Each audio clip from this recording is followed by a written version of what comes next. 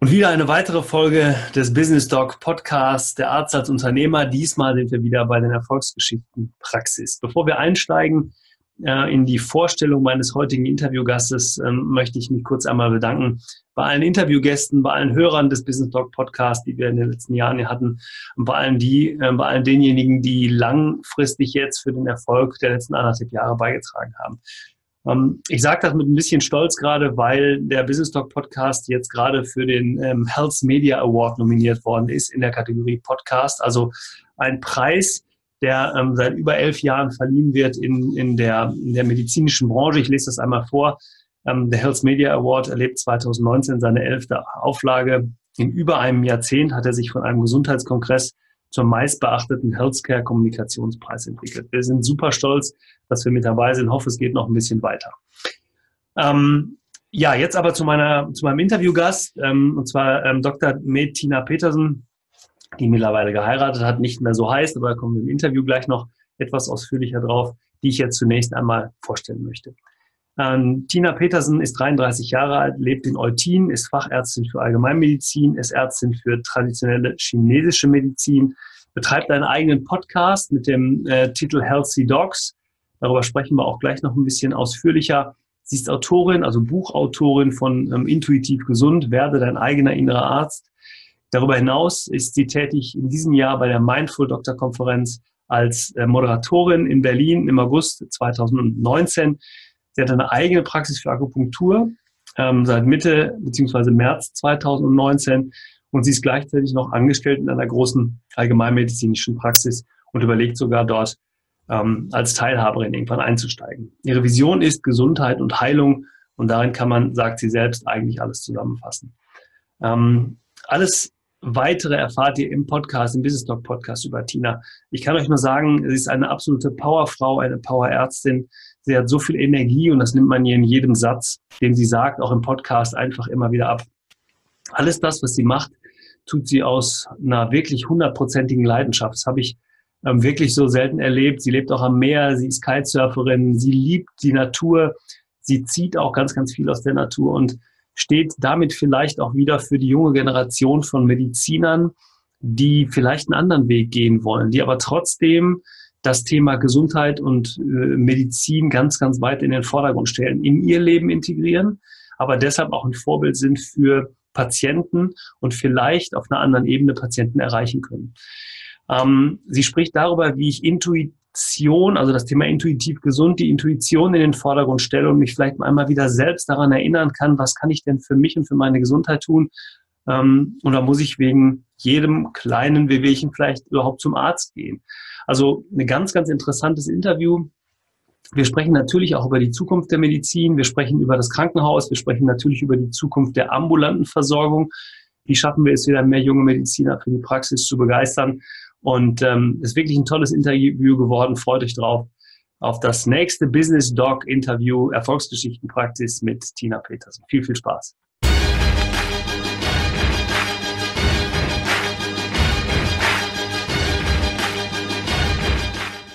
Ja, herzlich willkommen. Da sind wir wieder zu einer weiteren Folge des Business Talk Podcast. Diesmal wieder eine Folge aus der Serie Erfolgsgeschichten Praxis. Ich freue mich ganz besonders heute Dr. Christina Petersen dabei zu haben. Ich steige einfach mal ein mit meiner Einstiegsfrage. Wer ist Dr. Christina Petersen? Was macht sie beruflich und privat mit eigenen Worten?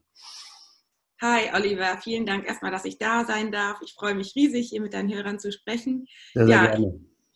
Ich bin Tina, ich bin 33 Jahre alt. Ich ähm, vielleicht äh, habe kann ich mal sagen, was aktuell bei mir ist. Ich habe gerade geheiratet, ja. genau. Und ansonsten, ähm, ja, hm, bin ich Ärztin, wie gesagt, bin Fachärztin für Allgemeinmedizin und Ärztin für traditionell chinesische Medizin und ähm, ich bin Kitesurferin, ich ähm, liebe die Natur und ja, das erstmal so zum Einstieg. Ja, ähm, du lebst in der Nähe von Hamburg, in Eutin, richtig? Ja, Genau. Eutin, genau. Das kennt vielleicht keiner. Das ist zwischen Lübeck und Kiel, ist ganz im Norden. Ja, ich glaube, ja, doch. Also Eutin ist ja nicht so ganz unbekannt. Ja. ja. Ähm, wenn du so ähm, mal guckst, was hast du gemacht in deinem Leben? Du bist ja Ärztin geworden aus einem gewissen Grund. Ähm, äh, können wir vielleicht gleich später noch darauf zu, zu, sprechen kommen. Ähm, was hat dich in diesen Beruf geführt? Was hat dich dazu geführt, das Thema Medizin so in den Mittelpunkt zu stellen? Ich habe mich immer schon für Gesundheit interessiert und mhm. ich habe mich auch immer schon für Menschen interessiert und ich wollte immer schon verstehen, warum einige Menschen ähm, gesund bleiben und warum andere krank werden und ja. womit das zu tun hat. Und ich habe das immer, das hat mich eigentlich immer schon fasziniert. Mhm. Mein ganzes Leben lang. Und da ich aus dem Arzthaushalt komme, mein Vater ist, ähm, ist ähm, Allgemeinmediziner mhm. und bei uns hat schon früher immer ähm, an der Tür geklingelt und da waren Patienten und ich habe das immer so ein bisschen mitgekriegt und ähm, ich fand das immer total spannend und faszinierend. Okay. Das heißt, wenn dein Vater auch in der eigenen Praxis ist, habt ihr viel über die Themen Medizin gesprochen? zu Hause oder was war da Thema? Eigentlich nicht so. Ähm, dass, ähm, zu uns Kindern hat er auch immer, wenn wir irgendwas hatten, eher so, also wie soll ich sagen, der, der, hat uns nie Angst gemacht. Also wir haben nicht über, über Themen wie Krankheit oder so gesprochen. Mhm sind eher in dem, in dem Gefühl aufgewachsen, gesund zu sein. Ähm, ich habe das einfach nur so ein bisschen mitgekriegt, weil wir zum Beispiel nach dem Kindergarten, ich habe ja fünf Geschwister, hm. ähm, sind wir immer vom Kindergarten zur Praxis und haben da gewartet, bis Mama uns abgeholt hat, weil meine Mutter ähm, auch berufstätig war. Und ähm, da haben wir schon viel mitgekriegt, ähm, ja, wie das so abläuft. Und natürlich auch, also ich meine, ähm, mein Vater ist ja Hausarzt und hier in einer kleinen Stadt, da haben schon früher öfter mal Patienten geklingelt und ähm, angerufen und ähm, da wird man als Hausarzt schon oft auch am Wochenende eingespannt. Oder war jedenfalls früher so. Und ähm, deswegen hat man schon ähm, ja, viel mitgekriegt, sage ich jetzt einfach mal so. Mhm. Also hatte ich dieses, dieses, ja, ich nenne es jetzt mal Unternehmersein, das Selbstständigsein schon früh erreicht, aber vielleicht auch geprägt, kann man das so sagen? Mm, ja, schon. Auf, auf der einen, ja, auf die Art und Weise auf jeden Fall schon, stimmt. Mhm. Mhm. Hat dich das, ähm, wenn du jetzt auch, du hast ja Geschwister, so wie ich raushöre, ähm, vielleicht, wie viele sind es? Wie viel wart ihr in der Familie? Also wir sind sechs Kinder. Oh, sechs Kinder. Das ist mit Eltern, die dann beide berufstätig sind, aber auch eine Herausforderung, ne? Ja. Ja. Ähm, hat, äh, wie, wie habt ihr das empfunden untereinander? Also Vater und Mutter, beide berufstätig, äh, untereinander viel, aber scheint ja in, in, trotzdem äh, oder gerade deswegen vielleicht auch ein schönes Familienleben gewesen zu sein. Ne? Du sprichst ja da sehr, sehr äh, euphorisch auch aus der Vergangenheit drüber. Ist das so? Ja, das stimmt. Das war richtig cool. Also wir Geschwister haben uns super gut verstanden, sind auch alle ganz kurz aufeinander und mhm. hatten, ähm, ja, haben natürlich uns immer gehabt. Und ähm, das war also überhaupt gar kein Problem, dass meine Eltern beide berufstätig waren. Wir hatten auch mhm. ein Pärmädchen. Und ähm, von daher war das super. Und ähm, da kann ich nur zu sagen, wir haben, ja, hatten eine gute Zeit. Ja, schön. Ich frage mich ja immer, wo, wenn, wenn sich jemand in eine gewisse Richtung entwickelt, so wie das jetzt bei dir ist, wir kommen da ja noch gleich ein bisschen ausführlicher drauf, was du alles tust und wo so deine Motivation entspringt. Ähm, wo hat sich das her entwickelt? Wo kommt das her? Ne? Und jetzt ist natürlich bei dir, ähm, weil wenn der Vater auch im medizinischen Bereich unterwegs ist, ähm, ihr habt vielleicht viel draußen gelebt, du hast selber gesagt, gerade du bist sehr sportlich, du bist im Wasser unterwegs, also Surferin, Kitesurferin. Ähm, wo, da frage ich mich eben immer, wo, wo kommt so eine Entwicklung her? Also warum ist jemand, geht immer jemand noch die Extrameile? Also du bist Medizinerin, du hast ein Studium hinter dir, du hast die klassische Ausbildung gemacht, aber du hörst ja da nicht auf. Du gehst den nächsten Schritt. Ne? Und deshalb interessiert mich das immer, wie das Umfeld eben so, so gewesen ist und wie du geprägt worden bist. Würdest du denn sagen, dass dich dein Umfeld wirklich geprägt hat in die ein oder andere Richtung? Vielleicht auch, hast du Dinge auch negativ mitbekommen? Ähm also was mich geprägt hat, war vielleicht schon, dass ich so als ähm, äh, zweites Kind, ich war die, also ich habe vier Brüder, mhm. äh, schon ein bisschen äh, früh Verantwortung übernommen habe, muss ich mhm. schon sagen. Deswegen habe ich kein Problem damit, Verantwortung zu übernehmen. Ja. Und ähm, ähm, was du sagst, ähm, mit dem die Extrameile gehen, ich empfinde das nicht so. Ich empfinde das im Gegenteil. Ich bin einfach ähm, so total neugierig. Mhm. Das heißt, also verstehst du, wenn, wenn, wenn ich mich nicht weiterbilden würde, dann würde mir was fehlen. Also mhm. in der Schulmedizin hat mir einfach was gefehlt, was ich konnte Patienten nicht mit den normalen ähm, Skills der Schulmedizin weiter behandeln. Und dann, ähm, verstehst du, dann habe ich das Gefühl, stehen zu bleiben. Und dann mhm. wollte ich mich weiter, dann wollte ich noch eine Ausbildung in der traditionellen chinesischen Medizin machen. Dann reise ich gerne. Ich sehe einfach unglaublich verschiedene Sachen einfach gerne. Und ähm, ich glaube, das kommt einfach, das, das ist, bin eigentlich ich als Typ so ein bisschen. Mhm. Manchmal fordert das andere auch heraus, dass ich, dass ich vielleicht dann denke, einige sagen dann zu mir, bist du nicht jetzt endlich mal fertig oder so. Ja, ja. aber fertig ist man ja nie, weißt du. Das ist einfach so, ich bin einfach so neugierig und interessiert. Ja. Und ja, klar, man muss natürlich aufpassen, dass man sich nicht verzettelt. Das ist auf jeden Fall so, weil ich so viele verschiedene Sachen mache. Aber auf der anderen Seite ähm, finde ich das ja, habe ich gerade neulich darüber nachgedacht, finde ich das eben auch einfach ganzheitlich. Verstehst du nicht nur eine Sache so ex exzessiv zu machen, sondern mhm. in alle Bereiche so ein bisschen reinzugucken und alle Interessen zu bedienen. Damit ist es für mich und meine Gesundheit, ich weiß ja meine Bedürfnisse, ich weiß ja, dass ich das brauche. Und wenn ich das nicht bediene, dann, dann werde ich unglücklich. Also, mhm. ja, ich kenne mich ja. ja. ganz gut. Ich habe mich ja, ja super. Ich weiß, wie, wie, wie ich ticke. Ja, trotzdem ist natürlich in der Gesundheitsmarkt nicht nur mit Menschen bestückt, die so sind wie du. Ne, es gibt da deutlich, deutlich andere. Wenn ich nochmal, ich habe es ja im Intro gerade schon so ein bisschen eine, grundsätzliche Vorstellung gemacht, aber vielleicht nochmal, müssen wir uns nochmal ein wirkliches Bild machen können. Du bist Fachärztin für Allgemeinmedizin, Ärzte für traditionelle chinesische Medizin. Du bist im Moment ähm, angestellt in der großen allgemeinmedizinischen Praxis. Du bist gleichzeitig hast du noch eine eigene Praxis für Akupunktur. Ähm, dann bist du gleichzeitig auch noch ähm, Podcast-Betreiberin. Du hast einen, einen, eigenen Podcast, Healthy Dogs, sprechen wir gleich auch nochmal drüber. Du hast ein Buch geschrieben, ähm, äh, Intuitiv gesund, ist richtig. Ne? Ähm, ja. Also äh, das sind ja alles Dinge und das meine ich mit Extrameile. Ne? Also ich sag mal, das sind ja alles Dinge, die, die, die du zusätzlich tust zu dem, was du eigentlich machst. Und wenn ich höre, angestellt in einer Praxis und zusätzlich Akupunkturpraxis, könnte man ja meinen, okay, das reicht ja eigentlich schon. Ne? Aber der Antrieb ist ja doch da zu sagen, ich mache mehr. Woher kommt das? Also hast du irgendeine Vision? Ist da irgendein ähm, so, ein, so ein großes Warum, was du für dich geklärt hast? Ja, ich, ähm, ja, das ist ein, eigentlich ist, ist, betrifft das so ein bisschen alle Bereiche, finde ich. Mhm. Ich möchte immer so gerne das Leben verstehen. Ich wollte schon früh äh, verstehen, warum ähm, einige Dinge so sind, wie sie sind. Und ähm, mh, mm, ich, mir ging es zum Beispiel eine ganze Zeit lang in der Schulmedizin nicht gut, weil ähm, mhm. ich mich so ähm, verausgabt habe, meine eigenen Bedürfnisse nicht ähm, gelebt habe und mich ähm, ja so ein bisschen mich selbst unterdrückt habe und mhm. so weiter und so fort. Und da habe ich, ähm, also es war in der Facharztausbildung, und ähm, da hatte ich zum Beispiel auch Migräne und habe auch viel so Genussmittel konsumiert, sage ich jetzt einfach mal so im mhm. Ja, und das zum Beispiel hat mich damals sehr gefasst. Ich bin ein sehr sensibler Typ. Ich habe gemerkt, dass irgendwas nicht stimmt und natürlich wollte ich sofort wissen, woran das liegt und ähm, bin dann zum Glück davon weggekommen. Also hatte mir, habe mir eine kleine Auszeit genommen und habe mich wirklich mit mir selbst befasst, mhm. wo auch mein ganzes, äh, meine ganze Veränderung dann hergekommen ist äh, durch diese Auszeit. Ähm, und da ich bin einfach ein Typ, der Dinge hinterfragt. Verstehst du? Ich nehme die Sachen nicht einfach so hin, die mir jemand vorgibt, sondern ich möchte verstehen, warum es so ist. Und damals zum Beispiel hatte ich, ähm, ich hatte mein ganzes Leben lang zum Beispiel auch eine Schilddrüsenunterfunktion, eine Hashimoto-Thyreoiditis, ja. 50 Mikrogramm ähm, Schilddrüsenhormon, die ich nehmen musste. Und auch das, das ist eine Autoimmunerkrankung, wollte ich immer verstehen, warum das so ist, wie es mhm. ist. Mhm. Ich habe mich intensiv damit auseinandergesetzt und ähm, da ähm, alternative Sachen für mich eben, ich, habe ganz viel da getan und jetzt bin ich das los.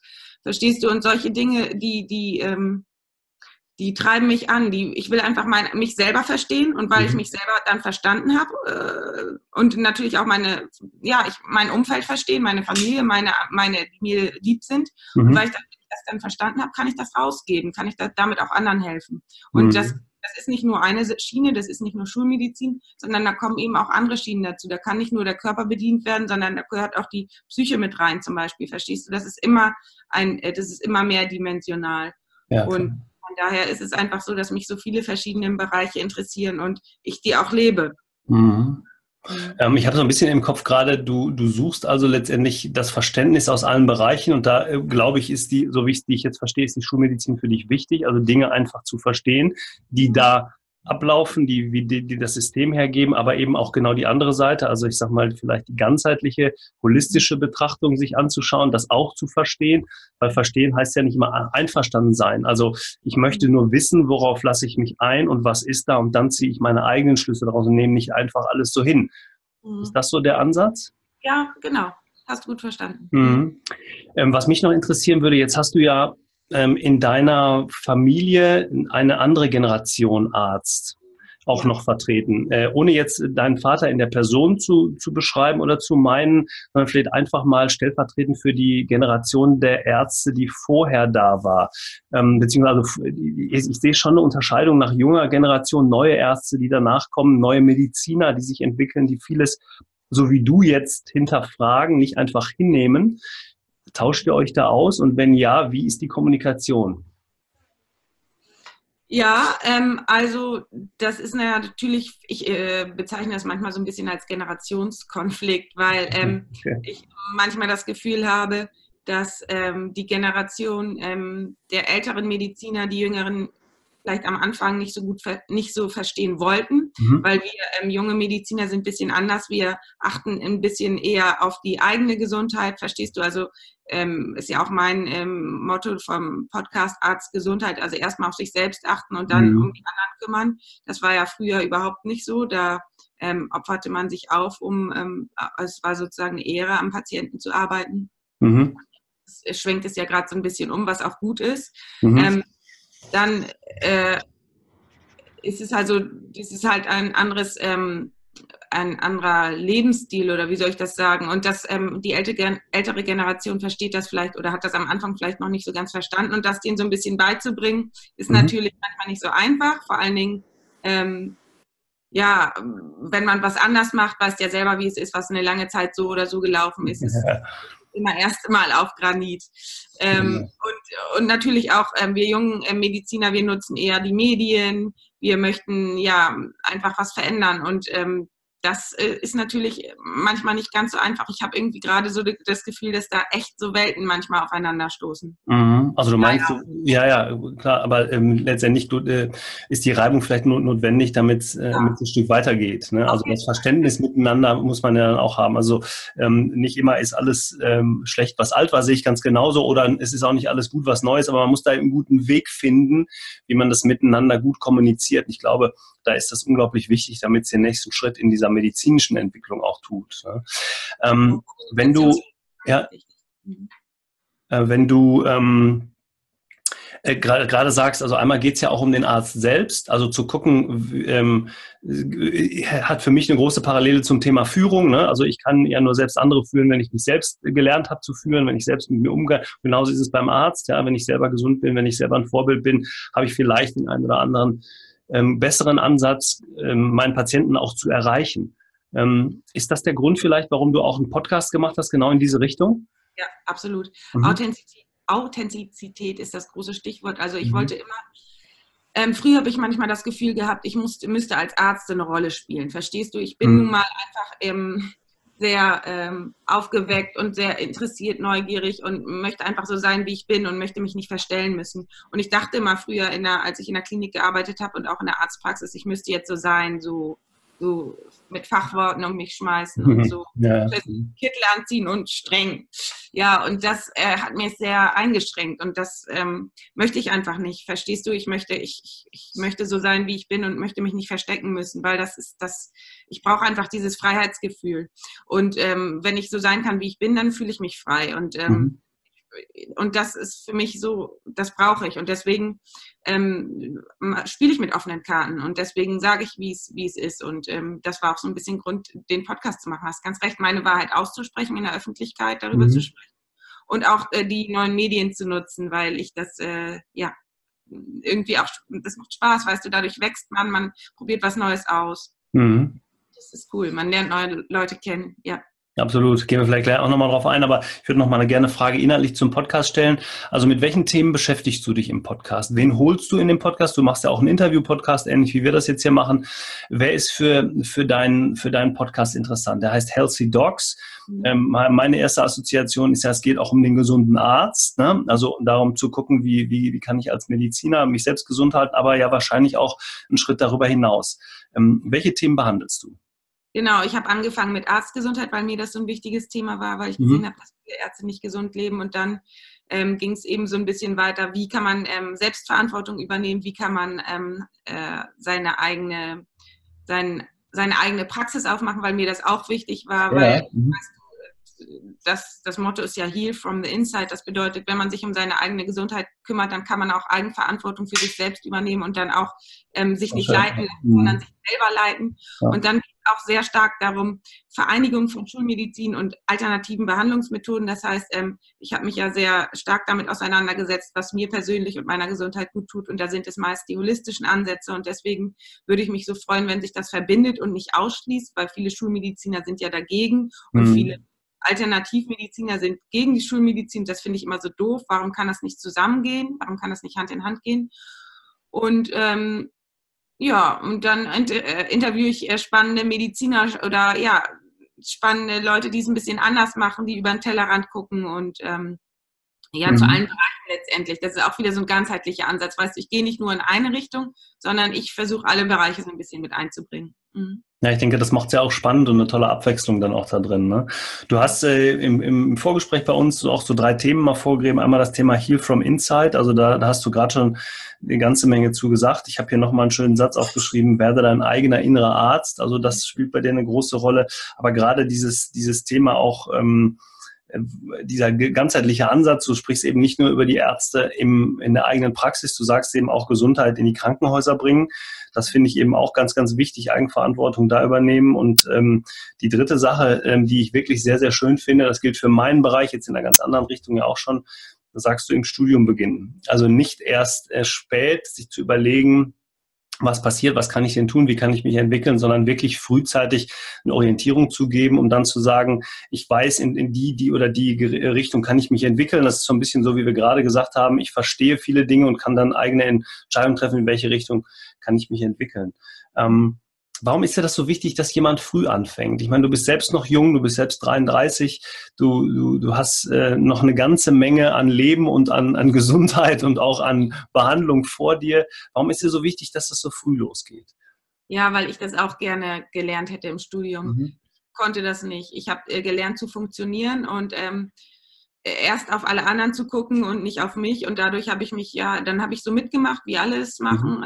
Mich selber vernachlässigt und ja, bin dadurch, habe dadurch auch Dinge entwickelt wie Migräne und so. Und ja, und ähm, ich finde das schade, weil das ist irgendwie so eine Sache, die Mediziner so lernen, ne? So mhm. Funktionierer zu werden und, und und ähm, letztendlich ist es einfach so wichtig und das ist das A und O, dass ein Arzt ähm, selber erstmal gesund ist und ähm, dem Patienten beibringen kann, wie, wie er auf seine Gesundheit achtet und sich nicht so total kaputt macht.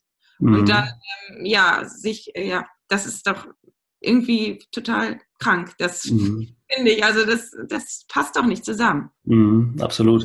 Wie wichtig ist denn aus deiner Sicht das Umfeld, in dem man sich bewegt, gerade um, um das Mindset zu ändern, um, die, äh, um, um, diese, ja, um diesen neuen Gedanken auch zu pflegen? Ja, das Umfeld ist A und O, das ist total wichtig, weil du weißt ja selber, es, wir werden so angesteckt vom Umfeld. Ähm, je nachdem, wie das Umfeld ähm, sich benimmt, desto da passt man sich eben einfach an. Und deswegen ist es so wichtig, wenn man das Mindset ändern will und sich eben hin zur Gesundheit entwickeln will, mhm. dass man sich eben mit Menschen umgibt, die ähnlich denken. Ähm, und ja, das ist einfach, weißt ja selber, man ist der Durchschnitt von den fünf Leuten, mit denen man sich ständig umgibt. Ja, und das. Umfeld ist A und O, ja. Ähm, empfindest du das als teilweise schwer, gerade im Krankenhaus? Also du meinst, du musstest ja auch im Krankenhaus eine Ausbildung machen. Ähm, das Umfeld im Krankenhaus ist ja oft noch anders geprägt, weil da eben ältere Mediziner sind, die haben auch nie andere Dinge gelernt als das, was sie vielleicht seit 20 Jahren tun. Ähm, ähm, ich erlebe, dass das für viele junge Mediziner, die im Krankenhaus sind, teilweise, äh, teilweise wirklich eine große Auf Aufgabe ist. Hast du das auch so erlebt? Ja, absolut. Ich bin ja auch ziemlich jung angefangen. Mhm. Ich glaube, 20 hatte ich meine erste Stelle und ich war auch direkt in der Notaufnahme. Mhm. Und dann erstmal die 24-Stunden-Dienste und dann habe ich natürlich alles so mitgemacht, wie, wie, wie es da gemacht wird. Mhm. Und ähm, also da konnte ich mich in dem Moment nicht irgendwie ändern oder so, weil da ist es, das verstehst du, das Umfeld ist so groß und da, ich bin so, ich war so jung, ich hatte von, davon Tuten und Blasen noch keine Ahnung, mhm. so ungefähr, ne? Muss ich jetzt immer ganz ehrlich sagen, ich musste erstmal alles lernen. Na klar, machst du erstmal dann das, was du dort äh, vorgesetzt kriegst. Ähm, aber ich glaube, dass mehr und mehr Leute so denken wie ich und sich ähm, in der Freizeit oder in ihren, ja, beschäftigen mit Dingen, die die gesund sind, die mit Yoga, mit Meditation, mit Achtsamkeit. Und ähm, wenn, wenn man das dann in dem Krankenhaus anwendet, wenn man zum Beispiel in der Pause mal nicht ähm, dieses, den Fraß aus der Kantine isst, ja. Oder mal, ja, sich selber was mitbringt, was gesundes Essen oder ähm, verstehst du einfach mal sagt, ich brauche jetzt mal kurz fünf Minuten für mich. Ich, ähm, oder irgendwie verstehst du, wenn es mehr mhm. und mehr, dann kommt das, dann, dann wird man nicht so blöd hinterfragt oder blöd angeguckt, sondern dann, ich glaube, dass eine Generation folgt von jüngeren Ärzten, die ein bisschen achtsamer mit sich selbst umgehen und die andere, ein anderes Mindset haben. Deswegen glaube ich, dass das in die Krankenhäuser kommt. Mhm. Ja, absolut. Ähm, also die Community, ich meine, auch wenn ich mir deinen Podcast angucke, da sind ja viele dieser jungen Mediziner oder überhaupt Mediziner, die eine andere Denke haben, vielleicht auch einige ein bisschen älter, die dann vielleicht auch eine Vorbildfunktion haben, aber Vorbild nicht nur, weil sie älter sind, sondern weil sie eben auch einen neuen Weg gehen, der vielleicht auch ein bisschen komplizierter ist, aber weil sie eben auch erkannt haben, dass in vielen Dingen es nicht weitergeht weitergeht. Und wie man gut zusammenarbeiten kann, auch das zeigst du wieder sehr schön, sehr vorbildlich. Du bist ja im August ähm, die Moderatorin der Mindful Doctor Konferenz. Das finde ich super, weil es genau da um das Thema Krankenhaus, Ärzte ähm, und eine Änderung eben schon im Krankenhaus geht. Kannst du da vielleicht nochmal äh, etwas zu sagen? Also wir hatten den, den Alva ja auch hier noch im Podcast und ähm, auch das ist ja auch einer von diesen Medizinern, von den jungen Ärzten, die genau ähm, auch da wieder kann ich sagen, die extra Meile gehen wollen, um einfach ein bisschen mehr zu machen als einfach nur ihren Job. Ne? Mhm. Ja, und zwar ähm, empfinde ich das so. Ähm, wir Ärzte ähm, wollen einfach, ähm, oder wir jungen Ärzte wollen auch einfach auch Eigenverantwortung übernehmen. Verstehst du? Wenn, mhm. wenn wir es nicht machen, dann macht es ja keiner für uns. Und deswegen ist es so wichtig, dass wir selber uns zusammentun und ähm, uns ähm, eine Grundlage schaffen für den Austausch miteinander, Kommunikation, für mm, ja, Netzwerken und eben auch für Workshops. Ähm, gibt es dort, ist, also die erste Mindful Doctor Konferenz ist im August, 23. und mhm. 24. August in Berlin. Und da ähm, treffen eben all solche Mediziner aufeinander, die so denken wie wir. Und ähm, ja, man kann sich dafür anmelden. Es gibt auch noch Tickets. Da kommen auch, also es kommt aber auch, kommen aber auch Chefärzte und Oberärzte. Es ist einfach mhm. eine Kommunikation auf Augenhöhe und ähm, ähm, mit ganz tollen Speakern auch, super Themen. Also da geht es um ähm, eben auch nochmal um Arztgesundheit, es geht um ähm, ähm integrative Medizin, Body-Mind-Medizin, mhm. es geht auch um, ähm, um ja, was das, äh, was das Internet äh, mhm. ausmacht. Ja. Äh, ziehen. Es geht um ganz also viele einige, einige Themen auch zu so Biohacking und sowas, ne, auch ein Thema, ne? Also da ähm, neue, neue Formen der Gesundheit. Also wa was ich so, so, so spannend finde an dieser neuen Generation von Medizinern, ich habe tatsächlich jetzt gerade äh, natürlich auch über das Thema so Social Media ähm, äh, viele junge Ärzte kennengelernt, aber ähm, ihr habt einfach so eine Offenheit, die auch, das macht ja auch den Patienten leichter mit euch, also vermeintliche Patienten, vielleicht sind es ja noch keine, aber einfach die Community mit euch äh, in Kontakt zu treten. Also ich sag mal, das ist ein ganz anderes Arzt-Patienten-Verhältnis, als dass man es vielleicht aus der Vergangenheit kennt oder vielleicht von einer anderen Generation noch kennt. Und dadurch, dass ihr euch, ähm, ja, ich sag's mal, vielleicht auch so angreifbar macht, indem ihr auch Schwächen preisgebt, also empathisch seid einfach, erkennt der Patient auch, das ist ja ein ganz normaler Mensch dahinter, aber trotzdem jemand, dem ich vertrauen kann, weil der eben eine gute Ausbildung hat, weil er sich um das Thema Gesundheit bei sich selbst, aber auch um die Patienten kümmert. Und das finde ich so großartig, weil das einfach eine ganz neue Art von Medizin für mich darstellt. Da geht es ja weniger um, um Krankheiten äh, heilen, sondern eher um Krankheiten verhindern, also gesund bleiben. Ne? Das ist ja ein großes Thema für die Zukunft. Das ist, ähm, wenn ich mir vorstelle, dass das so weitergeht und dass diese Entwicklung, die jetzt gerade da ist, Fahrt aufnimmt, dann glaube ich, wird sich in der Medizin ganz, ganz viel ändern. Wir werden eine ganz andere Art von Medizin in der Zukunft haben. Und deshalb ist das so wertvoll, was ihr da macht, alle zusammen. Und ich kann das wirklich nur jedem ans Herz legen, auch zum Beispiel die Mindful Doctor Konferenz sich anzuschauen, deinen Podcast zu hören, dein Buch zu lesen. Wie immer machen wir natürlich alle Verlinkungen unten in die Show Notes, ähm, also zu allen Themen, zu allen Links, zu deinen Büchern, äh, zu deinem Buch, zu deinem Podcast und so weiter. Also ähm, ich glaube, das ist unglaublich wichtig und auch für die ältere Generation von Ärzten wichtig, einfach auch die Möglichkeit zu haben, über einen Podcast mit einer jungen Ärztin wie dir mal in Kontakt zu treten. Also mal zu hören, was erzählt die denn da einfach? Ja? Warum macht sie das?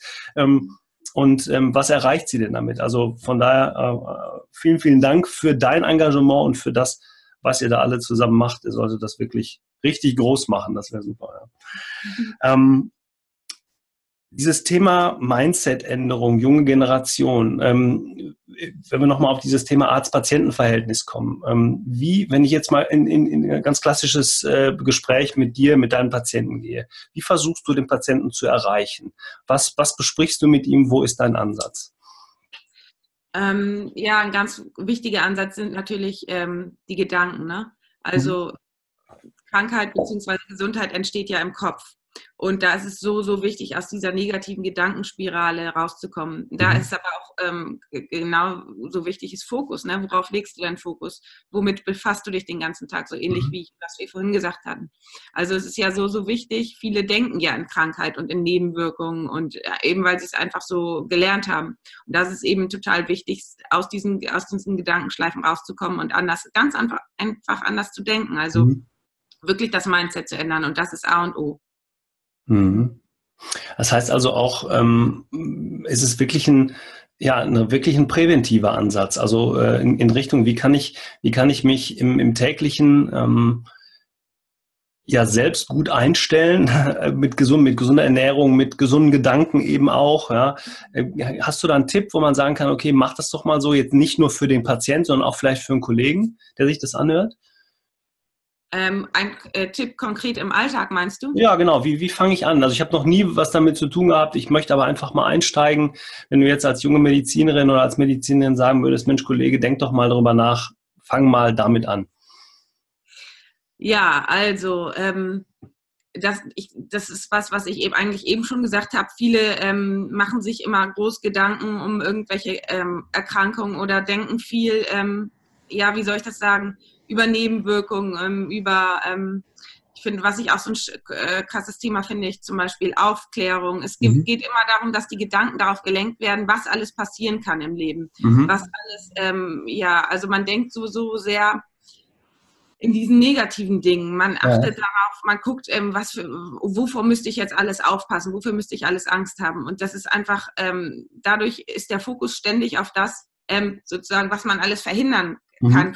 Man ist ja. nicht an Wachstum interessiert, an, an Leben, an, an, an, Potenzial. Was, was gibt es alles für mich Schönes zu erleben? Was kann ich alles daraus ziehen? Das ist, der Fokus ist ständig auf irgendwas vermeiden und damit mhm. auch auf, auf ähm, Kleinhalten, also Verteidigung. Mhm. Und das ist irgendwie so falsch, weil der Fokus müsste auf ähm, wie kann ich Gesundheit erreichen? Wie kann ich weiterkommen? Also mhm. einfach, das ist einfach eine 180 Grad ähm, Wendung. Verstehst du? Dass man sich einfach von dem wegdreht, was einen nicht voranbringt und zu dem hindreht, wo man hin möchte. Hm. Jetzt ist ja für viele ähm, so, der, so der krasse Cut wirklich schwer. Also ich sage jetzt mal, ähm, wenn ich zum Beispiel sage, ich fange mal morgens an, ich stehe mal nicht um sieben auf, sondern um Viertel vor sieben und nutze die erste Viertelstunde, um ähm, vielleicht mich mal einfach mit mir zu beschäftigen. Ich, entweder fange ich an, morgens ein paar ähm, sportliche Übungen zu machen. Ich bringe mich, bringe meinen Körper, meinen Kreislauf in Gang.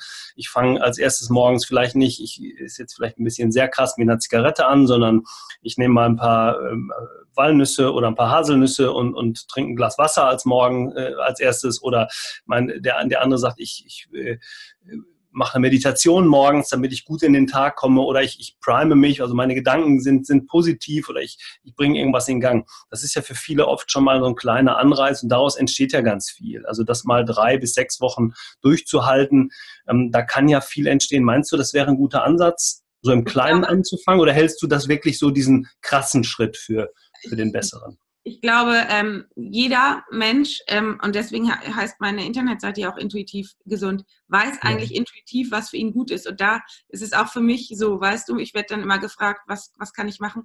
Das ist so wichtig, dass die Menschen auf ihre eigene Intuition hören, mhm. dass jeder auf seine eigene Intuition hört. Dann jeder weiß schon, was ihm gut tut. Der eine ist eher bequemer, der, der, für den ist das gar nichts, mhm. morgens mhm. auf aufstehen und erstmal ähm, durch den Wald zu laufen oder so. Verstehst du? Der braucht mhm. irgendwie was ganz anderes. Und sich dann dazu zu zwingen, das, das führt zu nichts. Deswegen ähm, ist es so wichtig, sich mit der eigenen Intuition, mit der eigenen inneren Stimme wieder zu verbinden und wirklich auf die zu hören, weil ich ähm, erlebe das immer wieder. Die Patienten, die möchten, dass ich ihnen sage, wie lange sie krank sind oder ich ihnen sage, was sie machen sollen. Ja. Nur, die haben, weißt du, verstehst du, die haben durch vor lauter Regeln verlernt, mhm. auf die eigene Stimme zu hören. Mhm. Aber es gibt eine eigene Stimme in jedem von uns und, und jeder weiß, ich weiß nicht, ob du, du fühlst dich jetzt vielleicht auch angesprochen, weil du weißt auch, was für dich persönlich gut ist, was dir gut tut, wo, mhm. wo du ähm, bei runterkommst, wo dein Körper sich bei gut fühlt. Und wie lernt man das? Wie lernt man das wieder auf die eigene Intuition zu hören? Das lernt man, indem man sich wirklich mit sich alleine befasst, indem man sich wirklich auch mal, wenn es am Anfang nur fünf oder zehn Minuten sind, Zeit für sich selbst nimmt, in denen man mit sich selbst alleine ist, in denen man wirklich nicht abgelenkt ist von Handy, von Medien, von allem Möglichen, denn das ist so ein bisschen das Problem der heutigen Zeit, dass wir uns ständig mit dem Außen vernetzen, statt mit dem Innen und mhm. deswegen unsere innere Stimme total vernachlässigen. Und das ist total, das ist das Problem, weil wir dann immer ständig jemanden anders fragen müssen, was gut für uns ist, obwohl wir es eigentlich im Inneren wissen und ähm, vor allen Dingen eigentlich auch nur wir selbst, weil eigentlich kann jemand von außen dir nicht sagen, was gut für dich ist, denn das weißt nur du selbst und bei jedem das habe ich auch die Feststellung gemacht, hilft was anderes, ist etwas anderes gut. Mhm. Und von daher so wichtig, dass jeder wieder lernt, auf seine eigene Stimme zu hören. Mhm. Das ist ein tolles Beispiel. Ich ähm, habe gerade so ein bisschen im Kopf die Frage danach, ob viele sich ähm, das nicht zutrauen, auf die eigene Intuition zu hören. Also da kommt mir jetzt gerade der Gedanke, ist, ist dieser, ist das Intuition oder ist das Angst? Also, ne, darf, also du hast das gerade ganz schön beschrieben, also gar nicht mehr darauf zu hören, kann ich das selber lösen, sondern ich frage jemanden anders, um diese Lösung für das Problem zu finden. Das ließe sich für mich auf eigentlich alle Lebensbereiche übertragen, auch gerade auf, auf, auf das Thema, was, was mich ja stark beschäftigt, also mit diesem Thema Praxisgründung und so weiter und so weiter.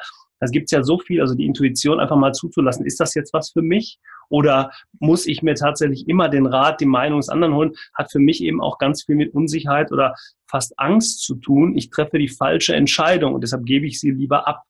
Hm, ja, ja? ich kenne das. Ich hatte das auch mein Leben lang. Ich konnte, ich musste immer andere Leute um Entscheidungen bitten. Mhm. Oder was ich hatte immer das Gefühl, ah nee, das, der muss mir das sagen, ich muss jetzt zu dem nächsten oder was weiß ich. Erst als ich mir Zeit für mich selbst genommen habe und gemerkt habe, dass äh, meine eigene Stimme in mir selbst ist und das einfach so super ist, so toll, ich muss niemanden mehr fragen und vor allen Dingen ist es auch immer dann die Entscheidung, die nur für mich richtig ist. Niemand kann mir das sagen. Ja, mhm. ich hatte früher davor auch Angst. Viele haben davor Angst, ja. Aber das ist schön, dass du sagst, kann man lernen, indem man sich einfach ein bisschen Zeit für sich nimmt und einem Kleinen mit anfängt. Ne? Mhm, absolut.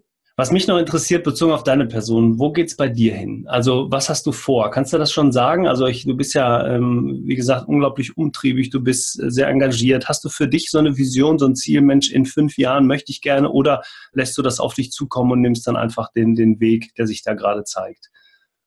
Also ich möchte auf jeden Fall ähm, unternehmerisch tätig sein. Das ist mhm. auf jeden Fall so, weil ich einfach ähm, das ist für mich einfach das, äh, verstehst du, ähm, eine lange Zeit wollte ich das nicht, um, um mhm. nochmal darauf zu sprechen zu kommen. Ich wollte immer, ich habe das auch, ähm, ja, als Arzt, nee, und das war mir immer ganz fern, so ähm, mit Zahlen zu tun zu haben oder das, verstehst du, ich wollte, ich hatte immer so ein bisschen die Assoziation, ähm, nee, also wenn es um Gesundheit geht, dann kann es nicht um Geld gehen oder kannst, verstehst du, das ja, kann, weil man so auch, als ich ja, wenn man jetzt so denkt, Arzt als Unternehmer, oh Gott, nee, ich bin doch Ärztin und keine Unternehmerin, das äh, habe ich total abgelehnt, weil ich mhm. immer so gedacht habe, das passt nicht zusammen. Und ja, und ähm, dann habe ich aber gemerkt, wenn wir im Krankenhaus uns verwalten lassen, dann kommt sowas bei raus, wie, wie es jetzt ist. Also die, die wir Ärzte rack, rackern da für ja, und jemand anders verwaltet uns. Und ähm, wir selber könnten doch das einfach in die Hand nehmen und uns selber, ähm,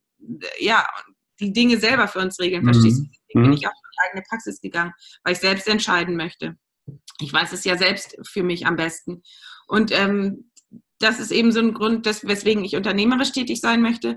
Und deswegen gucke ich jetzt mal, wie ich das mache mit der, also ich arbeite ja in einer großen allgemeinmedizinischen Praxis und ähm, meine eigene Privatpraxis, ob sich das irgendwie verbinden lässt, das gucke ich mal in den nächsten Jahren. Mhm. Mein Podcast wird weiterhin geführt und ich möchte noch ähm, online ähm, arbeiten, also eventuell kommt noch ein Online-Kurs raus ähm, da bin ich im Moment am Überlegen. Ich habe mhm. auch schon was vorbereitet, äh, muss gucken, wie ich das zeitlich schaffe, äh, das zu produzieren. Ähm, ich möchte auf jeden Fall äh, mich weiter vernetzen, genauso wie, wie das jetzt stattfinden wird im August äh, mit der Mindful Doctor Konferenz. Das finde ich mhm. total sinnvoll und ähm, ja, habe ich total Lust drauf. Und ähm, da würde ich auch gern gucken, ob man da irgendwie eine Community schaffen kann oder sowas.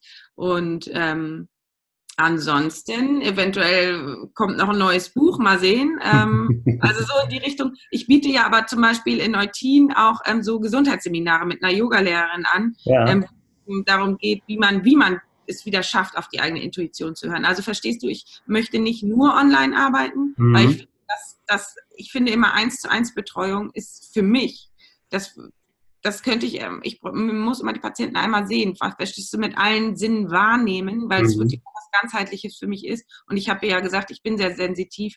Ich muss wissen, was da im Ungleichgewicht ist. Und dann könnte ich ihn vielleicht online weiter betreuen oder ich könnte eben Online-Kurse machen für die Menschen, dass sie zu Hause was mitarbeiten können, weil mhm. ich glaube, die neue Generation möchte Eigenverantwortung übernehmen, möchte wissen, was sie tun kann für sich selbst und von daher möchte ich so ein bisschen breites Spektrum anbieten. Ja, sehr gut. Das ist aber, glaube ich, auch genau der richtige Ansatz. Also ich glaube, dass es immer unglaublich wichtig sein wird, gerade in der Arzt-Patienten-Beziehung, ähm, äh, dieses Mensch zu Mensch zu haben ähm, und dann das, das Persönliche. Aber ich glaube, dass es eben das Thema Online, nicht nur Social Media, sondern grundsätzlich Thema Digitalisierung auch weiterhelfen kann. Das ist ja auch immer wieder ein Thema in einem Podcast, so wie diesen.